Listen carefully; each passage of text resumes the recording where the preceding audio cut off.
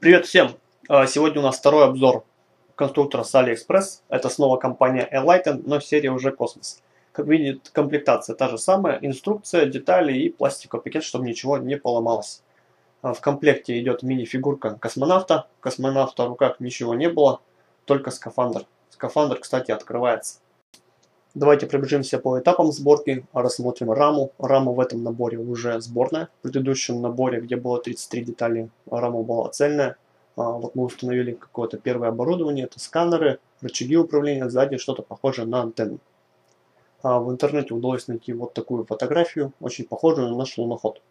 Вот так выглядит луноход в сборе. А у него большие колеса. И установили еще немного дополнительного оборудования. Можно туда поставить или посадить космонавта и отправить его, конечно же, на задание. На этом про данный набор все. Всего вам хорошего. Заходите в нашу группу ВКонтакте. Пока-пока.